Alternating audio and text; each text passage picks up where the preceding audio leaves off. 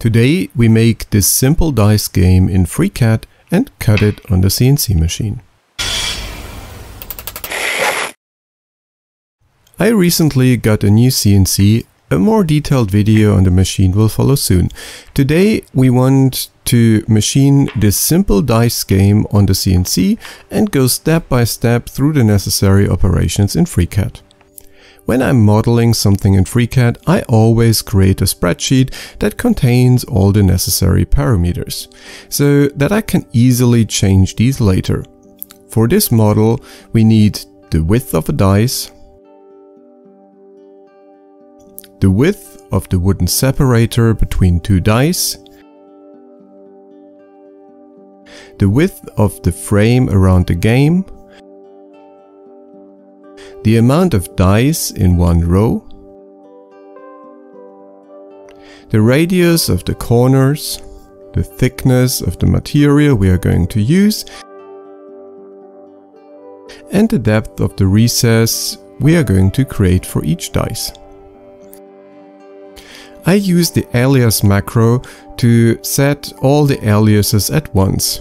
You can install this macro in the tools menu and I will link to a video that explains the necessary steps in detail. After all the aliases are set, we can calculate the width of the array and the width of the entire frame so that we can use these variables later in the model. With all the dimensions set, the actual modeling is quite simple. We start with a sketch in the xy plane and make a square as wide as calculated in our variable frame width.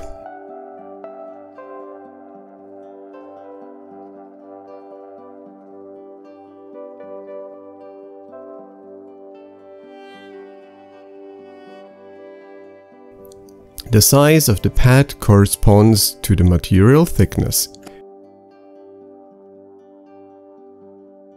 Each of the four corners gets a 5mm fillet according to the radius variable.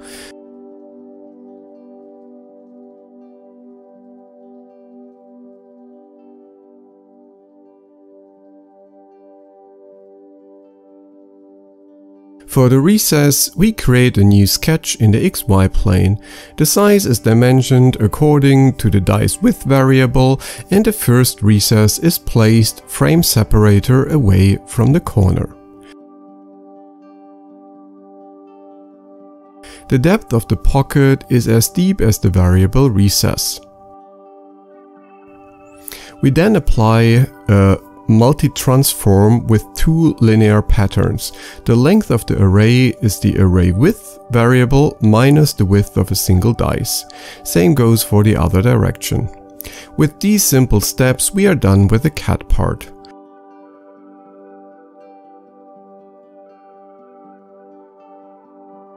Before moving on to the CAM part, let's check if the model also works with other parameters. Looks good. We could create dice games as large as we want. Now comes the CAM part and for that we switch over to the path workbench. Here we create a new job. In the new job task pane you can set the origin to any point of your model or of your stock. My stock extends the model by 1mm in x and y direction on each side, which doesn't matter given that I will anyhow cut the piece free at the end. What I forgot to show you here is that in the Output tab, you have to select the post processor that fits your machine. For common solutions such as GRBL or Linux CNC, there are post processors available. I had to write my own for the board I'm using, which was also not a big deal.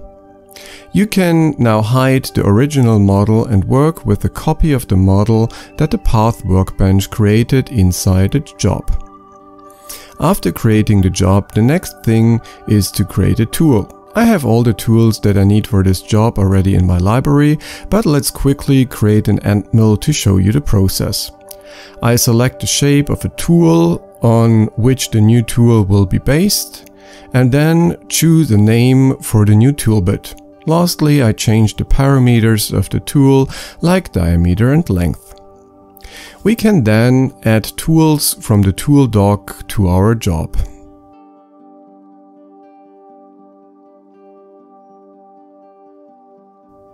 The Path Feeds and Speed add-on is a very handy tool that you can download from GitHub. I will add a link in the description to the repository. It has a small bug when your local has a comma as the decimal separator. In order to get the right values, just select another tool before going back to the original one you want to work with. The chip load and the surface speed you can get from your tool manufacturer or from a generic reference table. I will link one in the description. The add-on produces a good starting point for the feed and speed of your job and we can directly update the toolbit parameters. After setting the speed and feed for the tool when cutting, we also have to change the feed rate for the moves in between cuts.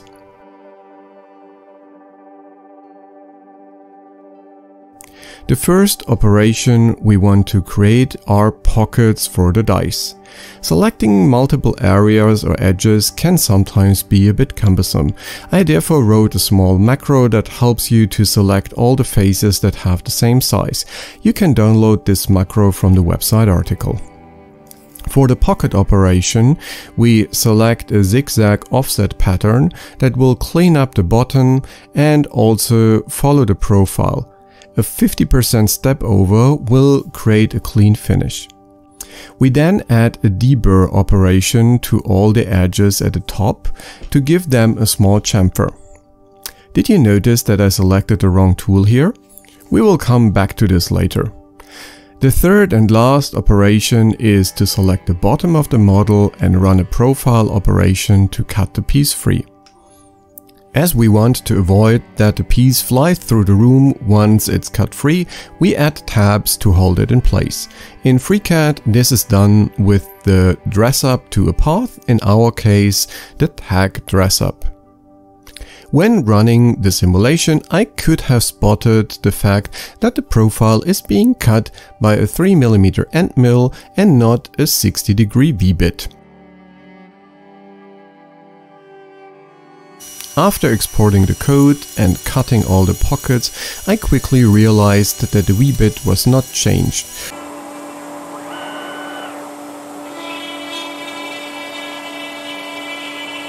So I went back to FreeCAD, replaced the 3mm end mill with a V-bit and continued the job without the first operation.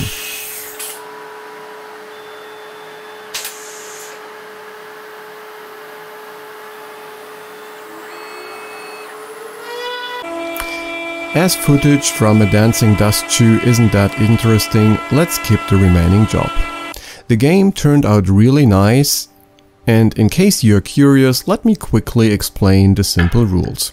You can move a dice forward by rolling it over. In this case, it changes its number. Or you can also roll the dice sideways, but not backwards. If there is one or there are multiple dice of your own or from your opponent in front of your dice, you can jump across these without changing the number of the dice. You can chain multiple jumps together. The game ends as soon as one player has all dice in the opposite row. The winner is the player with a higher number of spots on the dice in the last row. I hope you enjoyed this short overview of the FreeCAD CAM functionalities.